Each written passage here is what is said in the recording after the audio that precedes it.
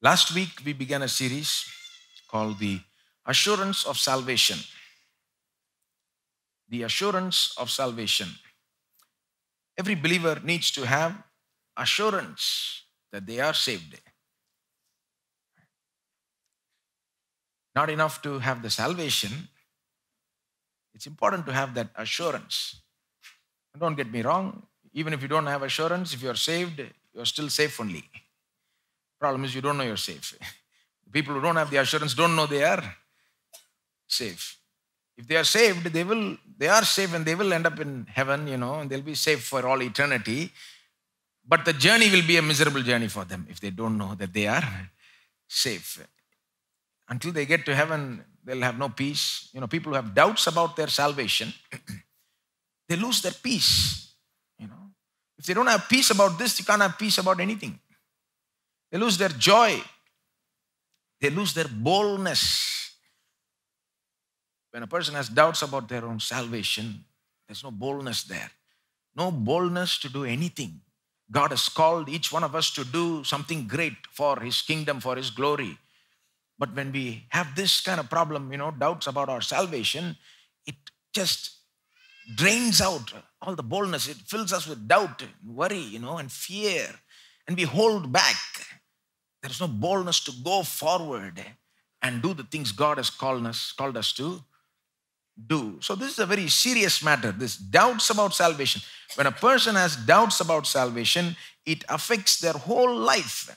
It affects every area of life. I spoke more about it last week. It has to be taken very seriously. The truth is, many believers have doubts about salvation. The thing is, they don't know what to do or where to go. When the doubts come, they don't know what to do. They don't know where to go. They don't, they don't know how to deal with those doubts. See, today we are going to teach you how to deal with those doubts. Where do you go? When doubt arises, where do you go? How do you deal with those doubts? The goal of this is by the end of today's message, you'll know what to do, where to go. And you can go there and find assurance. you can get rid of that doubt. You can find true assurance. And when that comes, you see, you get back your peace, you get back your joy, and you're able to move forward in your spiritual life. so that's what we're going to look at today. Today, we're going to look at what to do, where to go when the doubts come. How do you deal with the doubts? What do you do? Where do you go? Well, the answer is you go to the sources of assurance. You go to the sources of assurance. There are certain sources that God has given us, which will, if you go to them, if you pay attention to them, if you focus on them, surely you will get assurance. They will surely end up giving you true assurance. Just as doubt has its own sources, assurance, assurance has its own sources. You know, doubt has many sources. If, if there's if you're going through doubts about salvation, if you're having doubts about salvation, there are many reasons why a person has doubts about salvation. Main reason is sin. When they sin, maybe repeated sin, maybe something unusual, doubt about salvation could come. Another reason, it's not always just sin, it's other reasons as well, such as their background, the people's background, you know. Different people have different backgrounds. And some people, their family background, they may, may not have received the uh, love of a human father, for example. You know, the human father, in certain situations, human fathers have forsaken their children, dealt badly with their children. And so the person who has gone through that kind of difficult childhood, when the Heavenly Father says, I will never leave you, they doubt Him because the human father left them. See, when the Heavenly Father says this and that, they're not able to believe because of their background. Some people's church background itself keeps them in doubt. Because their church background, in that background, they kept saying, Will you go, will you not go? If Jesus comes right now, will you be taken or will you be left behind, right? Constantly, that kind of talk ends up leaving them in doubts. And so, because of that itself, they may not have committed great sin, but because of that kind of talk, hearing that again and again, they are stuck in a state of doubt, you know. They've somehow learned to manage it and put it aside and cover it up and just, you know, move on. Doubts have many reasons, sometimes circumstances. When somebody doesn't have a doubt, and then sometimes very terrible circumstances come. Everything appears to be going wrong in life, you know. And then the doubt comes in the mind, you know, if all this is happening, how can we still believe that God is for us? If He's for us, then why is all this happening? If He's with me, then why is all this happening? Maybe He's not for me, maybe He's not with me, maybe this whole thing is a lie. See, that's a, that's a bigger problem, bigger doubt. See, circumstances bring doubt. There are many reasons for why doubt arises, but there are also many sources from where assurance arises. And today I want to talk to you about let the doubt come from anywhere, but I'm going to tell you certain sources. If you go to them, you will find assurance, true assurance, and you will grow in that, and the doubt will go, my friend. what are these sources? Number one, source number one of assurance. Today we're going to give you certain sources, few of the sources, important sources, and then we're also going to teach you how to use them practically how not to use them, how to use them, how not to use them, right? This is the goal today. We're going to show you, tell you what these sources are, show you how to use them. Number one, the source number one is the gospel of Jesus Christ. The gospel of Jesus Christ. Everybody say the gospel. the gospel, what is the gospel? Well, the gospel, that's a simple term, right? It means the basic truth about what Jesus did through his death and resurrection for us. Yeah? The gospel, we're all familiar with the gospel. We know that word, right? The gospel has to do with certain facts about Jesus. What kind of facts? 2000 years ago, historically, he actually came. Born of a virgin, and he actually lived on this earth. This, earth, this is not uh, some kind of uh, fable. This happened historically. It's a fact. It's a historical fact. Jesus actually entered this world, lived as a man for 33 and a half years. and then, how did he die? That's very important, those facts. He suffered and he died on a cross and he shed his blood. Those are all facts. And then on the third day, he rose again. We believe that is a fact, historical fact, right? That's why we are believers, right? So these are all facts about Jesus. But facts alone don't make up the gospel. It's the meaning of the facts. If he simply came and lived and died and rose again and went away and that's it, there's no gospel in that. What's the good news about that? He did all of that for me. he did all of that for, everybody say, for me. Why did he come, my friend? He came for you. He came for me. He lived a perfect life for himself to prove his own perfection for me for me. That's the gospel. The gospel says he did it all. Everything that happened to him happened to him for you and me. Why did he suffer so much? Because he deserved it? No, he suffered because I deserved it, and yet he took my suffering. Why did he shed his blood on a cross? Why die on a cross? Because he bore my sin and the curse of that sin. And cursed is the one who hangs upon a tree, the Bible says. That's why he hung on a cross for me, bearing my sin, bearing my curse, and every last drop of blood he shed for. Everybody say, for me. You got to personalize it. Otherwise, it doesn't move you, see. That's the gospel. The facts about Jesus and the meaning of the facts and how it benefits you. Right? We have all heard some version of the gospel. that is how we got saved. Think back to the time when you got saved. Think back to the time when you first put your trust in Jesus. You heard something about the gospel. Maybe a simple version. Somebody told you, maybe a preacher, maybe a Sunday school teacher, maybe your friend. I don't know who first gave you the gospel. You heard it and you believed it and you got saved. Now think back to that time when you got saved, you also got a little bit of assurance. Just remember it. Think back. Did you get some assurance? You didn't even think of it as assurance, but you were you were at peace. You know, you had some kind of assurance or some kind of peace. Yeah, my sins are forgiven. I am okay. I am safe. When a person usually gets saved, immediately they don't get doubts about salvation. What they get immediately is confidence, assurance. right? Now, let me ask you, where did that assurance come from? The first time you got assurance, you don't even realize it, right? But now think back to your own experience. Most of the experiences are like this, right? When, the, when we get saved, immediately we get assurance. I'm asking, where did that assurance come from? you didn't know much about the Bible. You didn't know much. Then where did the assurance come from? It came from the gospel which you heard. That simple gospel which you heard and believed and got saved through. Right? The same gospel which saved you, you didn't even realize also gave you assurance in the beginning. That's where you got your assurance. For the first time, you got assurance from what? The gospel. Everybody say the gospel. So, why is this important? When you lose your assurance, right? When you get your doubts now, where do you go? You go back first to the gospel. You back go back to the gospel. You go back to the same source which first not only gave you salvation but also gave you assurance. And you go back, you bring it back to mind, you think about the gospel, you meditate on the gospel, and my friend, you will again get assurance. The gospel has the power. You know, the gospel is very powerful. The Bible says, Paul says, I am not ashamed of the gospel, for it is the power of God unto salvation. The gospel has power to save.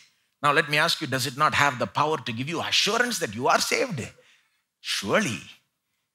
Assurance is not greater than salvation. Salvation only is greater. The gospel has the power to give you salvation. It surely has the power to give you the assurance that you are saved. So, what do you do? You go back to that gospel. Everybody say, go back. Believers think the gospel is not for them. No, but you go back. It's the same thing I said last week. I said it differently. I said, look at the cross. Remember? I said, if you have doubts, what is the solution? Look at the cross. It's the same thing. The cross is the center of the gospel message. So when I say look at the cross, it's the same thing. It's like saying look at the center of the gospel. Today I'm putting it in a little broader term and I say look at the gospel. Focus on the gospel. Look at the cross. when you have doubts, don't look at yourself, look at the cross. And the more you look at the cross, the more your doubt goes away and the more you get assurance. See Jesus suffering and hanging on the cross. Meditate on that. See Him doing it all for you. See? Everybody say, for me. That's the key, you see. Whatever is causing you doubt, especially if it is sin, right? The cross will easily, quickly solve it, right? If some sin in your life has now led you to doubt your salvation and is disturbing you so much, what do you do? Look at the cross. Look at the gospel. Center of the gospel is the cross. And you say, Jesus died for my sins, right? Even this sin, even this sin. And you see again your sin being put on the Lord Jesus Christ on the cross. He's bearing even this sin, all my sin he bore. That is the gospel. Right? But some people say, brother, you don't know about my sin, you know. My sin is very great. Do you believe in the greatness of your sin? Or do you believe in the greatness of the power of the blood of Jesus? Is greater? The blood of Jesus is able to cleanse us from all sin. All sin, no matter what it is, you see. Remind yourself of the gospel, my friend.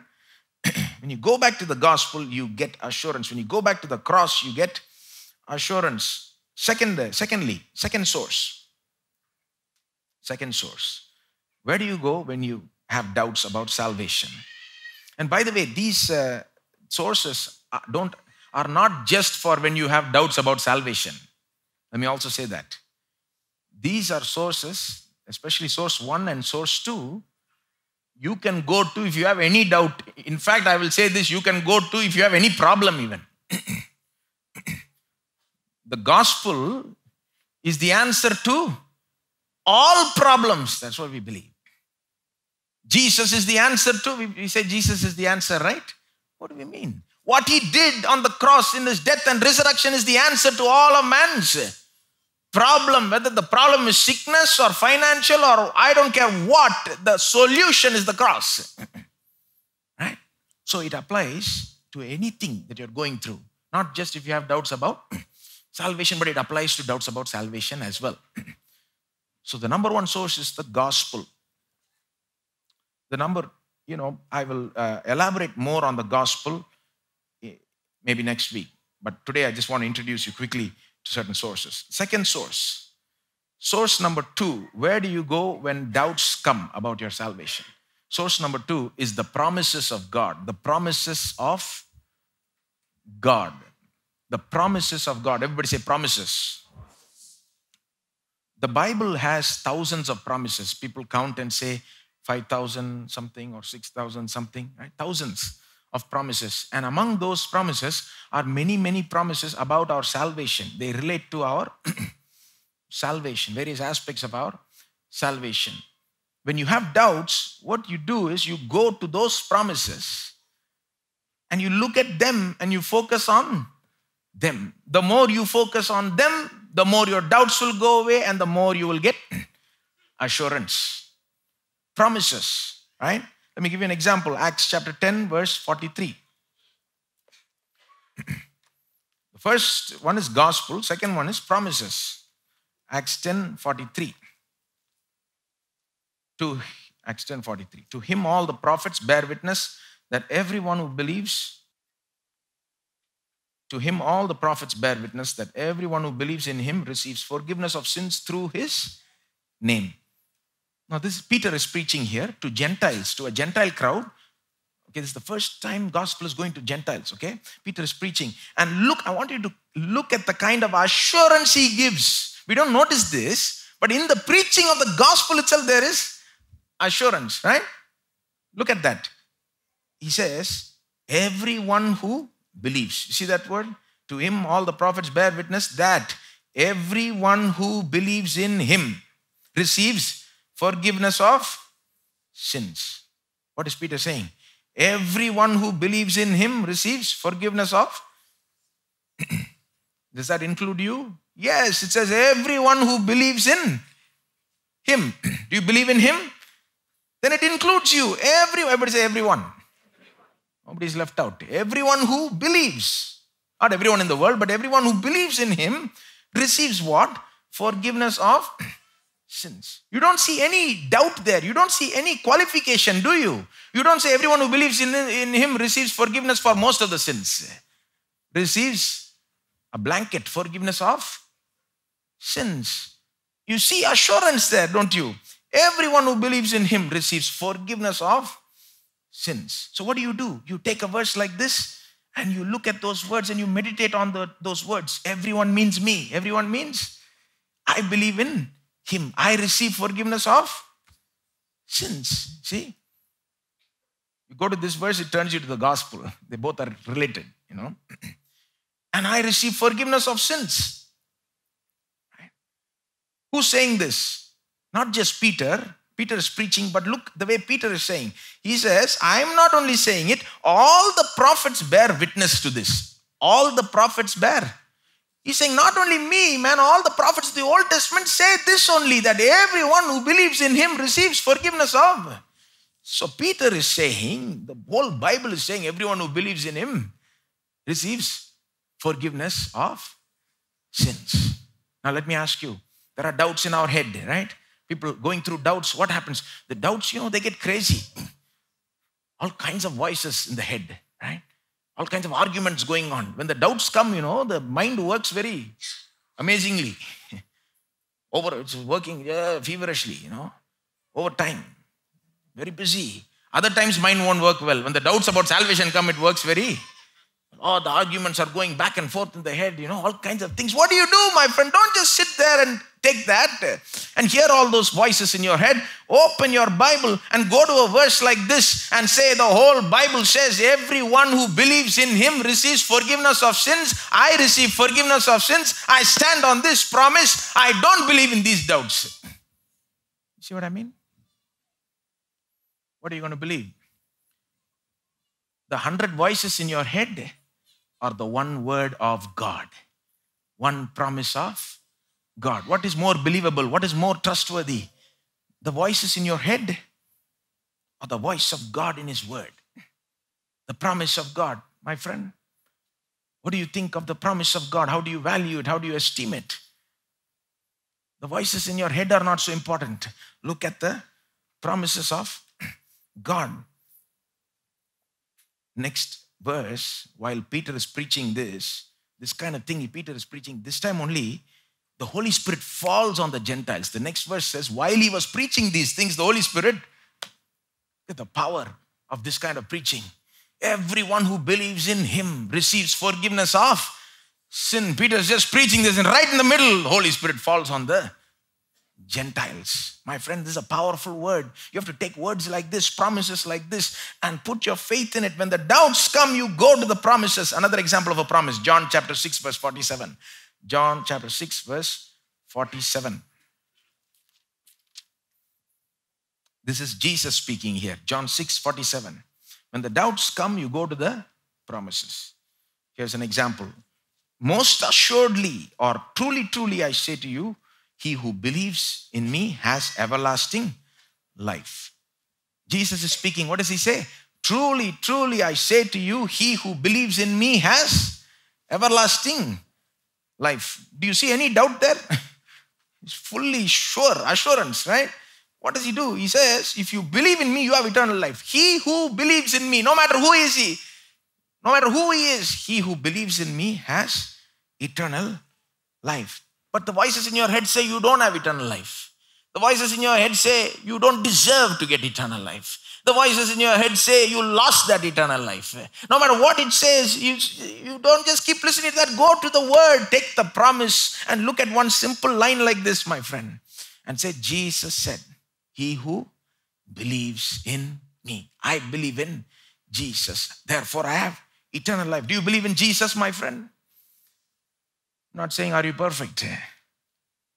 You may have a hundred problems, hundred weaknesses, failures. Question is, do you believe in Jesus? If the answer is yes, then you have eternal life. That's His word.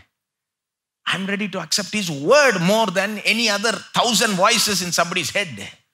If you believe in, if you say, Yes, I believe in Jesus, then on the basis of God's word, you have eternal life. Well, if you say, Well, I'm not sure, brother, you know, I'm trying to believe as much as possible, as much as possible I'm believing, but I don't know if I'm believing enough. That's okay, don't worry. What do you do?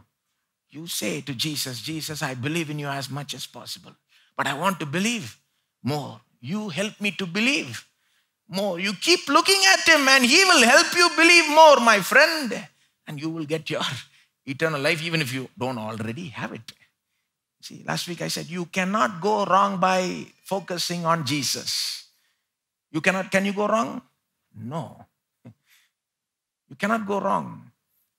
Even if you say, I don't think I believe in Jesus, brother, you know, I say, look at Jesus. You keep looking at him, the belief will come. He's like that. You keep looking at him, he will cause faith to rise from within you. Right? No matter who you are, what kind of situation, what kind of doubt, I say, forget about those voices in your head. Take this one word which Jesus says, eh, He who believes in me has eternal life. And as if that is not enough, Jesus says, Truly, truly, I say too. He doesn't have to put that. He doesn't have to say, Truly, I say to you. Everything he says is true. But he adds two trulies. Why? It's almost like he's begging. He's saying, you know, please believe what I'm saying. Truly, truly, I say to you, he who believes in me has eternal life. Is that enough? That one word is more powerful than the thousand doubts in a person's head. If they are willing to accept this word, my friend, go to the promises of God. When the doubts come, go to the gospel. Secondly, go to the Promises. Everybody say gospel. Promises. You got to memorize this. Certain things you have to memorize, right? They're writing it down, all of them. You know, our uh, intermediates. Certain things you got to memorize. You know, you got the biggest problems in life are not because of the problem itself, are because we don't know what to do when the problems come. You know, when we don't know what to do, when see everybody goes through problems, all kinds of problems. But some people know how to deal with the problems when the problems arise. That's sometimes the victory between the difference between those who win and those who lose, you know. They all go through problems, but the ones who win somehow know what to do when the problems come and how to manage them and how to go past them. Right? You got to know before it comes, you got to you got to prepare how to handle certain problems. You know, even in uh, they tell us as children, right? Memorize certain phone numbers. You want to call the police, memorize this number. It used to be 100. Right?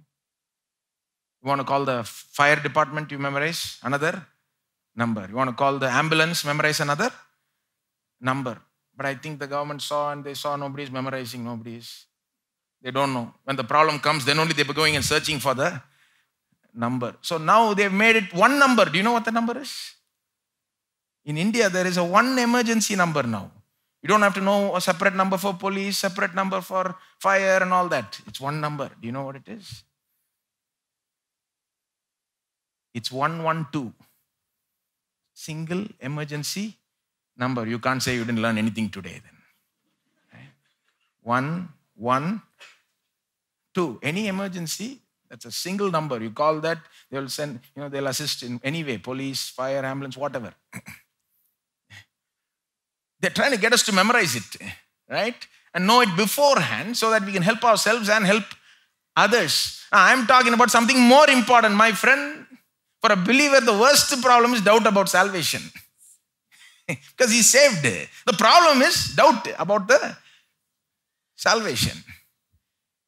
You memorize. What should you do when the doubts come? Go to the gospel. Everybody say gospel. Second thing is you go to the promises of God. Those two you memorize. Those two are the most important one. But now let me introduce a third one. Source number three. Source number three. Our changed life, our changed or transformed life. The Bible relates our assurance and our life. Our assurance and our life. It, it teaches something like this if you are living a changed and transformed life, that itself will give you some kind of assurance that you are saved. When you see the changes and transformation in your own life, it gives you a sense of assurance, confidence. Yes, I am saved. Have you been surprised by your own self? Not in a bad way, in a good way. Sometimes we're surprised by ourselves in a bad way, you know. I never thought I was so bad, you know. I never thought I had that bad thought in my mind or something. Now I'm talking about surprised by yourself in a good way. Have you surprised yourself in a good way? Suddenly you realize, you know, how did I become so good at this, you know? Or, or how did I become better in this, you know? How did I leave all those sins, for example, right? I used to be doing those sins, but now I don't find myself doing it and I don't even find myself going after it or even desiring it, right?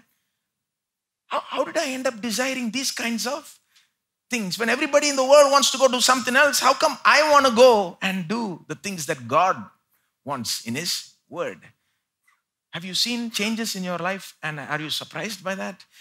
Do you see that kind of transformation? Do you see yourself leaving sin more and more and doing righteousness more and more? Do you see yourself obeying God's commandments more and more? Do you see love for God growing more and more? Do you see changes and transformation? Do you see yourself more concerned about others than yourself? Do you see yourself doing good works, loving others, forgiving others? These kinds of changes, transformations.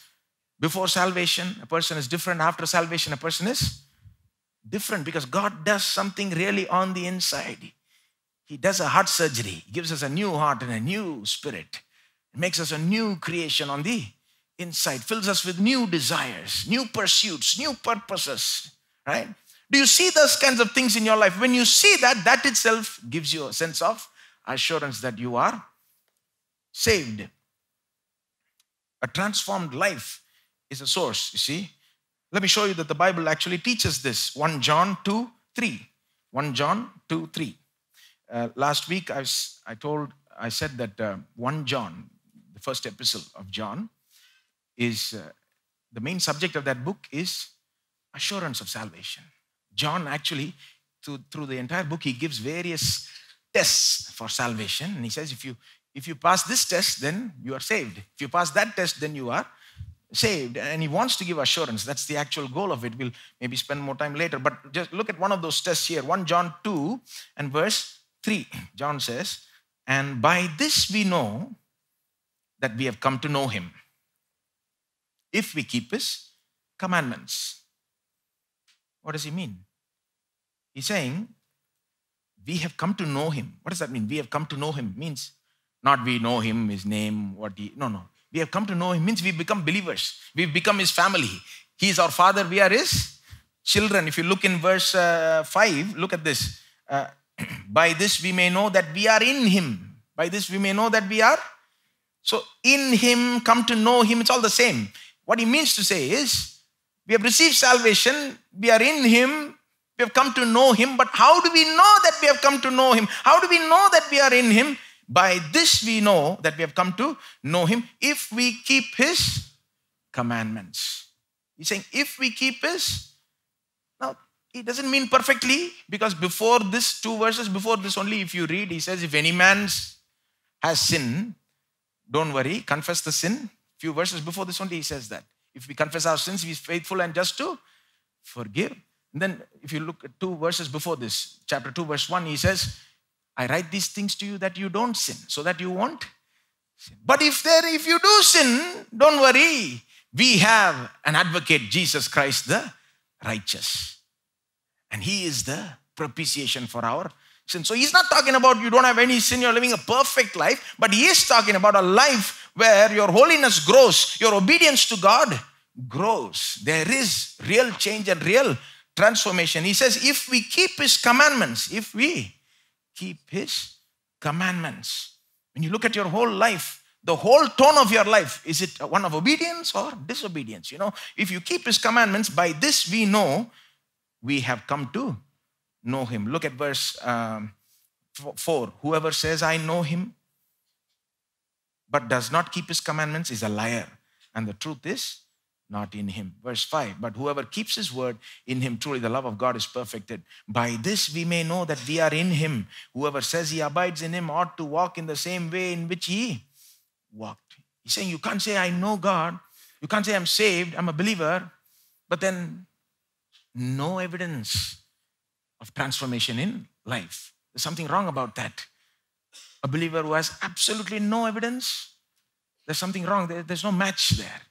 There's something seriously wrong. So John says, keeping the commandments itself or doing what God says, pleasing God, assures us that we are saved. Okay?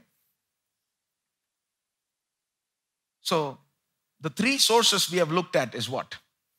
First one is gospel. Second one is promises. Third one is a changed life or transformed life. Now, there are many more, so there are more sources. I'm only giving these three for today, okay? I've left out certain important ones because if I start talking about that, you'll have to stay extra one hour. Just kidding. Right? I won't talk about that today. That's for future. But but even these three sources, many people don't know that these sources are there. They don't know that when doubts come, you can go to these sources. They don't even know these are sources of assurance. Like they think gospel is only for the first time you believe in Jesus. After that, you forget about gospel, you know. They think of gospel like the door to the Christian life. You enter through the gospel. After that, you totally forget the. No. The gospel is the door and the living room and the everything. Paul is writing to the Romans believers. First four chapters, what is he talking about? Gospel. Paul is writing to Ephesians believers. What is he talking about? First three chapters, gospel. See? People don't know that the gospel is a source of assurance. People don't know. People know, but sometimes they don't realize that the promises of God, you can go to them when you have doubt, you take the promises of God and you focus on them. Today, I want you to just knowing this will help you deal with the doubts. Right? You know now that when you have doubts, if you have doubts, you know where to go. You go to the gospel, you go to the promises of God. But one source everybody knows. You know what that is? That's the third source. Transformed life, everybody knows. I didn't even have to say it. Everybody knew it already. Especially the people with doubts, they know very well transformed life. You know why? Because they're looking at that only. And in fact, that's where they're getting the doubts from. right? They're looking at 1 John. This verse I read, they know very well. If we keep his commandments, they look at their life, doesn't appear like they're keeping the commandments. The same source, which is meant to give assurance, actually ends up giving them doubt. right? Now, why I say this is see, everybody generally, all the believers, even without teaching it, they know that one of the sources transformed life, and they look at that only and get doubts many times. Now, the, what, the, the trouble with that is, it's see, it is biblical. That source is actually biblical. The Bible teaches that that is one of the tests for true salvation. If a person is truly saved, he should keep the commandments. Okay? That's what the Bible teaches. Cannot ignore that. But the problem happens when you're only looking at that source. When that is the only source you see. When you pretend like the only matter that really matters is whether there is change or transformation in life. When you forget that there are other sources, when you don't know there are other sources, and only this is the only criteria, my friend, that's a little dangerous. it's a little dangerous. That'll end up giving you doubts. That is why purposely I put it as number three. It is not number one, it is number three. Number one is what? The gospel. Right?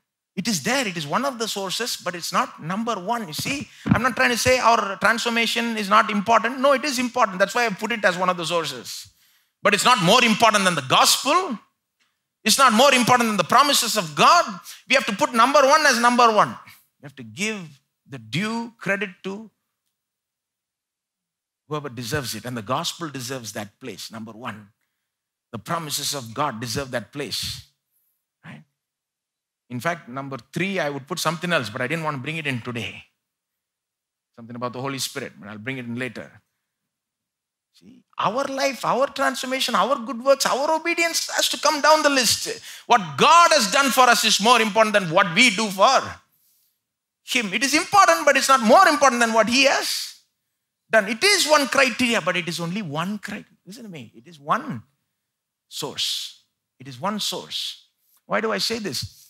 People don't know. People, think that's the only source, you know, and they end up getting doubts, you see. No, my friend, go to the gospel, go to the go to this uh, promises. So you know there are three sources now today, right? You also need to know how to how they operate. You need to know not enough to know what they are. You need to know how they operate practically and how you should use them practically. Because there is a slight complication in this. These sources don't function in the same way. These sources don't function in the exact same way. There is a slight difference. Why do I say that? Let me explain that. The first two sources, the gospel of Jesus Christ and the promises of God, the gospel and promises, they are what you can call as assurance producing sources. Okay? Or assurance increasing sources. Now, the third one, changed life, transformed life, is not an assurance producing source or an assurance increasing source. It is rather an assurance confirming source. Assurance confirming. There's a difference. Why do I say? Let me explain that with an example, right? Take a car or a motorcycle. There is something in the car which increases the speed. What is that? Accelerator, right? You press that, the car goes faster. That is an speed increasing source, right? But there is something else in the car that confirms the speed or tells you what speed you are going in. What is that? It's the speedometer, right? So you look, you know, speedometer is what is always before your eyes, right? So you look there, you can see it. Suppose the needle is, you know, very less, showing very less. Car is going very slow what do you do? You press the accelerator. What you don't do is stretch out your hand and try to move the speedometer. That's not going to increase speed. That only shows you what speed you're going in. It cannot increase the speed. The accelerator increases the speed. Now you laughed for that. It sounded ridiculous. But that's exactly what people do when they don't have assurance. They look at their life, they don't see enough transformation, they don't see enough change. What do they do? They try to go and meddle with that. Either they're lamenting over the fact that there is not enough change and transformation in their life, you know, just wailing, oh God, you know. That's like looking at the speedometer and just lamenting, oh, so slow it's going, you know.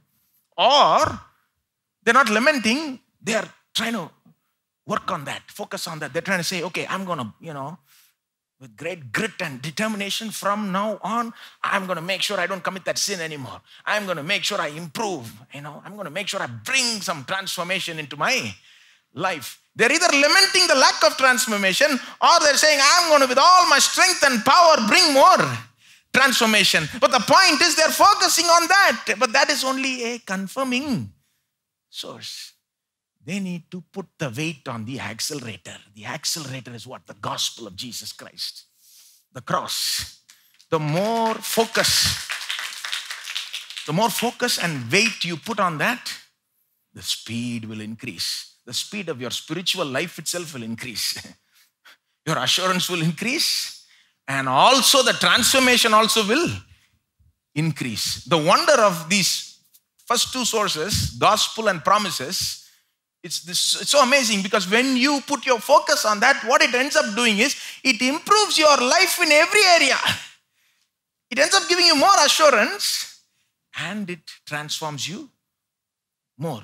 If you just focus on, oh, my life is not transformed, or how do I, you know, somehow try and transform more and more, the transformation also won't increase. Assurance surely will not increase. See?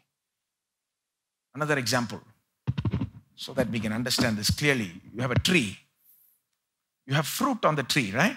The fruit on the tree is a very uh, good indicator of the tree's health.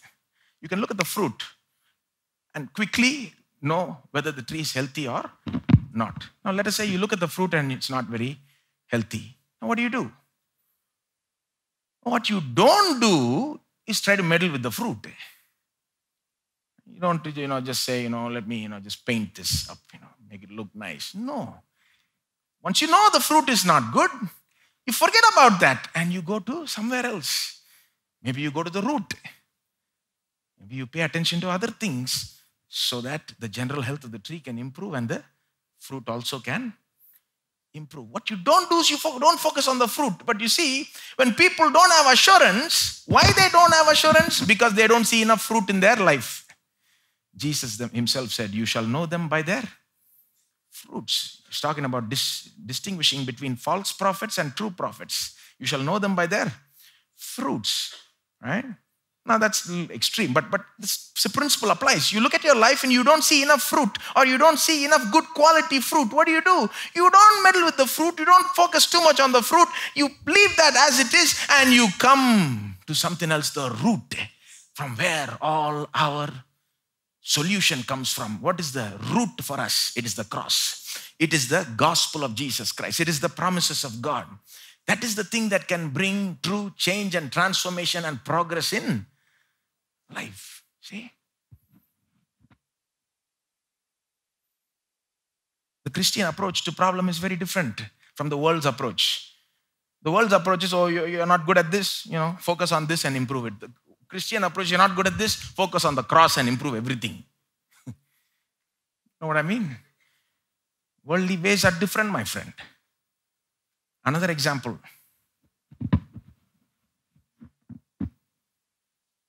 Let's say you know something is not right and you go to the doctor, right? And the doctor says, you know, take this test.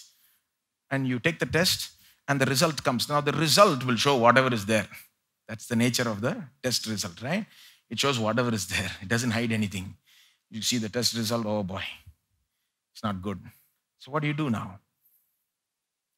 What you don't do is you don't keep on looking at the test result. That's not going to change anything. Right? What do you do? You put this aside and you go to the prescription. The doctor has given you a prescription. There is a difference between a test result and a prescription, right? The test result simply simply says it's not as it should be, but the prescription says you do this and it'll get better.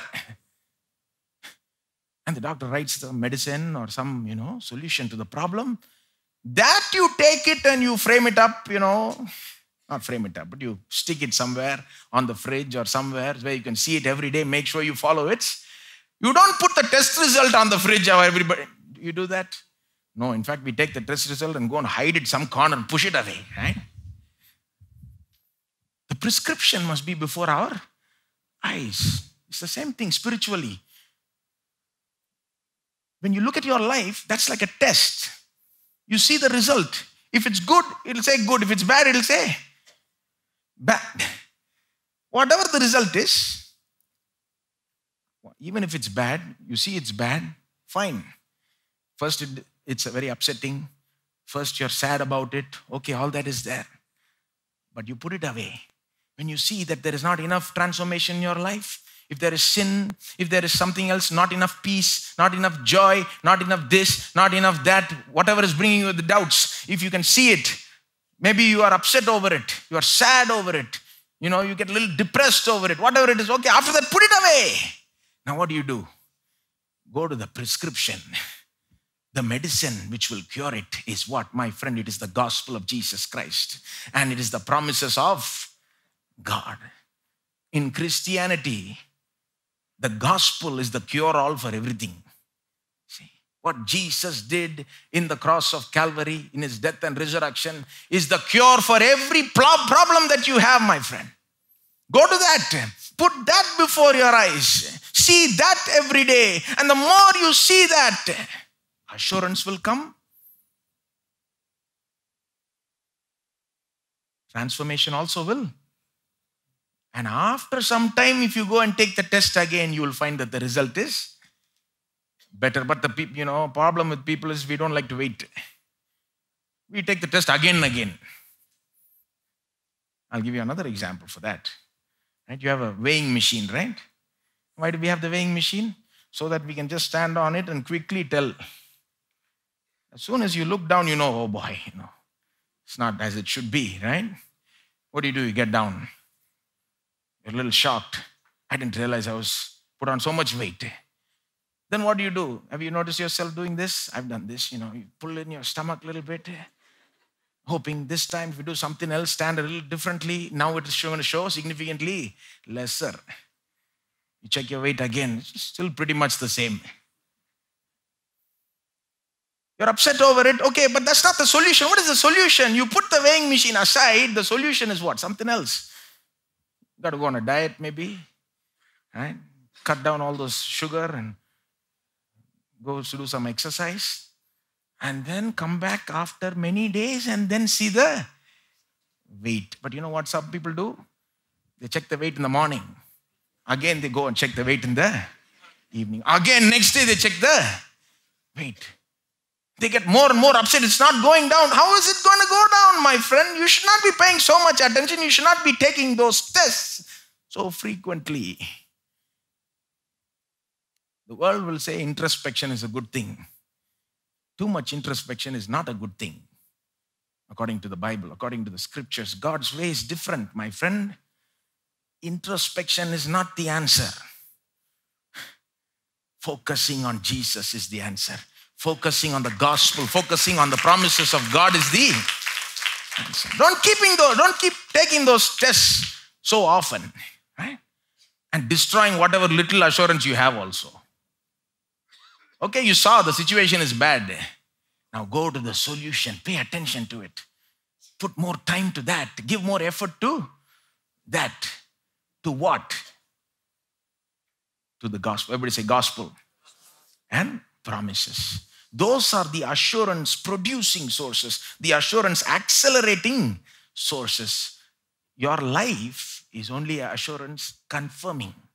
If it's good, it will say good. If it's bad, it will say bad. It's meant to show what there is. Now, I'll talk more in detail later on. Sometimes problem is when you see the life, you only assess it negatively because the devil hides all the positive stuff. Most people who have doubts, they say, you know, they'll, they'll assess themselves and say, I have nothing positive. But actually, they're wrong many times. Sit down with them and assess them. An outsider, that's why you should not only assess yourself, you should let others also sometimes. You should not just touch, but that's for a different date, you know, different time. We'll go into that later. Today, what have we learned? When you have doubts, go to the assurance producing sources, the gospel and the promises of God. Everybody say gospel, promises.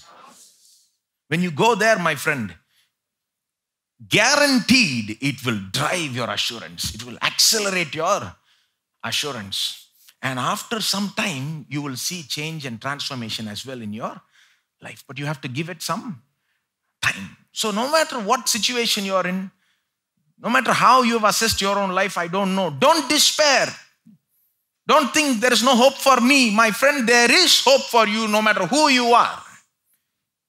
Look to Jesus. Look to the gospel. Look to the cross. The cross will not only forgive you, it will transform you. It will deliver you from the power of that sin, whatever it is. No matter who you are, there is hope for you. Don't let the devil just push you down with the doubts in your head. Right? Preach the gospel to him. Come, say, come on, devil, let me preach the gospel to you. He says, You're not worthy. What does he say? He says, You are not worthy. How dare you even go to God? You know, you're not worthy. What do you say? Well, I'm not worthy, devil. But do you know the gospel says? All are not worthy. That's what the, that's what the gospel begins. Nobody is worthy. If you see like that, all have sinned and fallen short of the glory of God. There is none righteous, no, not one. Romans 3. look at this in more detail. That's how the gospel starts. It starts by giving the bad news. Bad news is nobody can make it on their own. Good news is that's why Jesus came so that everybody who believes in it will make it because of Jesus. Do some preaching to the devil. By the time you start, he'll run away and preach to yourself. And by the time you're through, assurance would have gone up. Gospel, you know, devil says you're not worthy. Right? With what qualification can you go before God? Gospel says what? I am righteous. I, in fact, I am the righteousness of God. Right? God has justified me. That's what the gospel says. You read Romans, you know, first four chapters, we'll be looking at it maybe next week. But what does the gospel say? The gospel says God has made you righteous, or God counts you as righteous. That's the better way to understand it. God counts you as, how does He count you righteous? Not because you did righteousness. No, because Christ lived a perfectly righteous life. And by believe, when you believe on Jesus, a great exchange takes place, a glorious exchange. My sin goes to Jesus, and his righteousness comes to me. That's what happened on the cross. On the cross, a great exchange took place. My sin was placed on Jesus so that his righteousness will be will cover me from head to toe. When God looks at me today, you know the only reason he accepts you and me is not because of the good things we did. It's because of the perfect righteousness of Jesus Christ. See, we forget the gospel. That's the problem. That's why next week we'll look more detail. What I'm saying is the more you put your eyes and focus on the gospel, when the devil says you are not worthy, you don't qualify to go before God, God will never accept you in his presence. You say, I am clothed with the righteousness of Christ. Based on that, God will accept me. Now, what I'm talking about is something you do after repenting and after, you know, feeling sorry for your sin and after crying and after all that. I'm not saying don't do all that. That all that is good. Repent. Feel sorry for your sin. That shows that you're, you know, really God's child. Only God's children, only true believers will feel a deep sorrow for their sin. That they've offended God. That itself shows that you're probably a true believer. Unbelievers don't feel truly sorry for their sin. They may feel sorry because of the consequences, but they don't feel sorry for the sin itself. But believers feel sorry because they have offended their God, their loving, merciful, kind, gracious God. That itself shows, you see. So feel sorry. Shed those tears if you want. You know, repent. Do whatever. But that's not the end of it, my friend. Then look to the gospel. Look to the just feeling for, sorry for your sin and repenting is not going to bring you out of it and give you assurance, nor bring you transformation. It is when you take the medicine. Not enough to feel sorry, oh, yo, I ate, ate too much, you know. I ruined my life so far. Now you got to go and do the exercise, right? Now you got to do the diet, right? You got to take the solution, the medicine, the gospel. You got to go to the promises of God. Let me take you to a promise and uh, just trying to help you to practically apply it, you know. Let's go to John chapter 6. One place, promise, one promise from scripture, and then we'll close today. Today, I'm just trying to emphasize these two sources gospel and promises. and we'll deal with this in more detail later. We will deal with every source in more detail. John chapter 6, verse 37.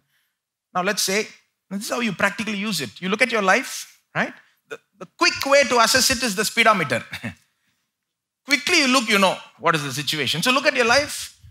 Is it good, bad? If it's bad, well, what do you do? Immediately go to the promise. Find a promise. Find a promise, a good promise.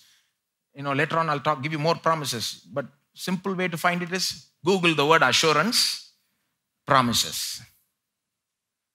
You'll find it. Assurance, promises, or assurance, Bible verses. But here is one John 6 37. John 6 37. Jesus is speaking here, and he says, All that the Father gives me will come to me. He means he's talking about people coming to him for salvation, okay? All that the Father gives me will come to me. He's referring to people. And then, look, and the one who comes to me, I will by no means cast out. The one who comes to me, I will by no means. This one statement of Jesus has given me assurance so many times. The one who comes to me, I will never cast out. Because the devil is saying, now he won't accept you. Now you're done, finished. He accepted you 50 times before this. Now he's not going to. Now you're through. That's it. Done. Get lost.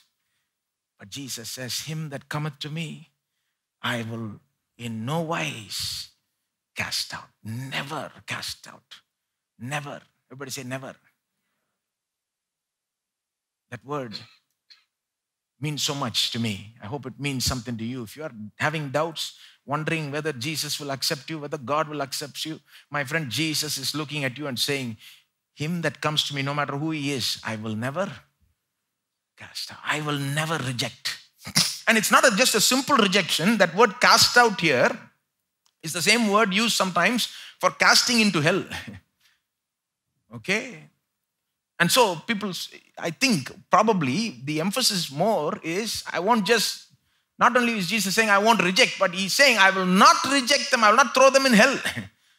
I will never, you know, allow them to go to hell.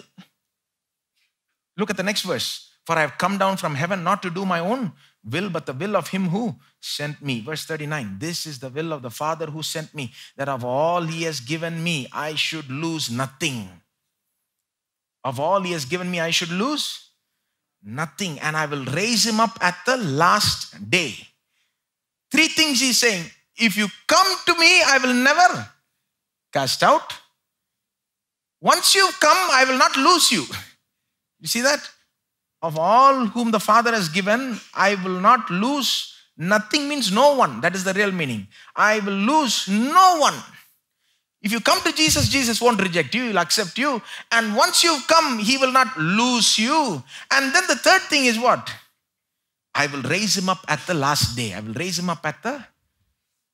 That means what? He's saying, once you come to me, I won't lose you. I'll keep you safe until the last day when I raise you up from the dead. What he's doing is he's securing our salvation from beginning to end from beginning to end. He's saying nothing wrong, nothing can go wrong. Don't worry. He's guaranteeing salvation from beginning to end. And he's saying, if you come to me, don't worry, I'll never cast you out. I'll never reject you. And once you've come, I will not lose you. And I'll keep you all the way to the end and I'll raise you up at that last day. Verse 40. Threefold assurance, isn't it? You come to him, you're safe in him, you're safe till the end. Verse 40. And this is the will of him who sent me that everyone who sees the Son and believes in him may have everlasting life. And I will raise him up at the last day. Again, he's emphasizing the beginning and the end of salvation. Everyone who sees the Son and believes in him may have everlasting life, and I will raise him up at the. He's talking about when you first get saved and then all the way to the end. See? And I want you to look at this last thing that he says. This is the will of him who sent me. What is the will of him who sent me? This whole thing is the will not of Jesus but of the Father. He says that again, eh, you know, previously he already said it in verse 37 all that the Father gives me. Verse 38 I am come down from heaven not to do my own will, but the will of him who sent me. Again, third time in 40, he says, This is the will of him who sent me. What he's trying to say is this whole thing is the Father's idea. You know, some people have doubts. You know why? Because they trust in Jesus, but they're a little skeptical about this Father.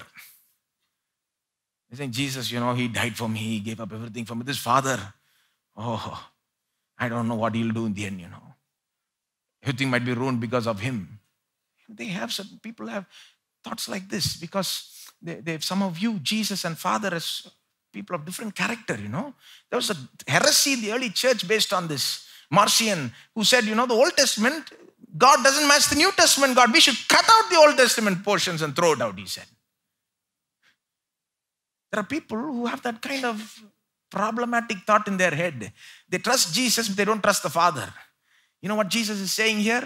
You coming to Him and believing in Him, and Him not rejecting you, and then Him not losing you, and then Him keeping you safe till that last day and raising you up on the last day. Whose idea is all this? It's not Jesus' idea, it is the Father's idea. Jesus saying it's not even my idea, man. I didn't come up with it. The Father came up with it. He planned it. He willed it. He purposed it. And I'm carrying out His plan. That should give you more assurance. Jesus is saying, Don't worry. If you come, I'll never reject you. And if you come and once you're in, I'll never lose you. And I'll raise you up on the last day. And guess whose idea this was all? From the very beginning, it was the Father's idea. The Father loves you and cares for you. You don't have to worry about your salvation. Receive that assurance, my friend. See, the more you look at the promises of God, you get the assurance. But for this, you got to stop looking at yourself. Stop looking at your weaknesses. Stop looking at, but I have this, but this happened to me, but that, you know. Whoever, when people have doubts about salvation, you'll notice they'll always talk about me, me, me, me, me, me, me, me. But I didn't do this, but I did this, but I have this. No wonder they don't have assurance. Robert Murray M'Cheyne, he said, for every time you look at yourself, look at Christ 10 times. Nothing, no problem you'll have. Boy, if we ever did that, we'll be somewhere else. Right? For every time you look at yourself, look at Christ 10 times. Amazing man he was. My friend, don't look at yourself and lose your assurance. Look at Christ and gain your assurance increase in your assurance. Look at the gospel, look at the promises of God. This is the way God has for us. And it's easy, you know. In some ways, it is easy. I trust that you will put this into practice in your life. And uh, if you don't have doubts today, it may come in handy tomorrow. If it doesn't come handy for you, it will come handy for someone else people, you can advise other people, you can help other people struggling with these kinds of doubts. Not only that, these are the same things you do when you have doubts of any kind. Let me say that and close. Any kind, whatever your doubt is, don't take the doubt lightly. That doubt is the thing which stops us from progressing in life, you see. See, some people today are facing very terrible circumstances and they're, they're, they're hearing voices in their head that go something like this, you know, if God is with you, how did all this happen? If God's word is true, then why did all this happen? If God loves you, then what about all this, you know? Oh, so voice after voice after voice, you hear it and hear it. Don't just keep quiet, my friend. No, go to the gospel and look at Jesus on the cross and assure yourself, no, God is for me. If God be for me, who can be against me? If he delivered up his own son for us all, will he not also freely with him give us all things? Look at the gospel, go to the promises of God and say, No, no matter what this voice says, I will believe that God is with me. And God said, He will never leave me nor forsake me. Therefore, I will say, The Lord is my helper. I will not fear. What can man do unto? See, you got to talk. When the thoughts run in your head, this has to open up. Your mouth has to. One word from your mouth is more powerful than many thoughts in your head. You open your mouth, you speak the word of God, these thoughts will go. Sometimes they won't go immediately, but they will go. God has given our mouth. We, we know this, you know this, you've heard this teaching, right? The words of your mouth have power. And when you put God's word in your mouth and you open it and say God's word, what happens? These doubts go away. My friend, don't take those doubts lightly. Deal with the doubt. Wage warfare with the doubts in your mind, no matter what doubts those are. How do you wage warfare? Go to the gospel and go to the promises of God. Once those doubts go, faith rises, and the next thing is victory. Then this is the order, my friend. This is the way God blesses us, prospers us. This is the way He wants us to progress in life. This is God's way. His ways are higher than our ways. We are thinking the biggest problem is my problem. But God says the biggest problem is not the problem outside, it's the problem inside our mind.